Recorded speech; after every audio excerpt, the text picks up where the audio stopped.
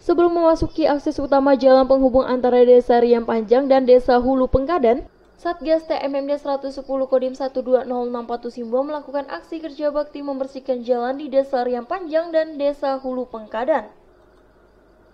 Meski bertepatan dengan kegiatan reguler Satgas TMMD 110 Kodim 12064 Simbau, Satgas TMMD tetap membersihkan pinggiran jalan yang ditumbuhi pepohonan dan rumput liar.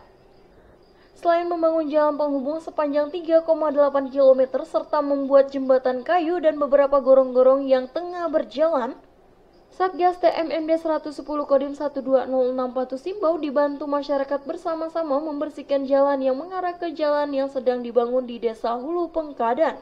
Pada hari ini kami bersama masyarakat Desa Riam Panjang dan Desa Hulu Pengkadan bersama TNI dalam rangka uh, TMMD ke-110.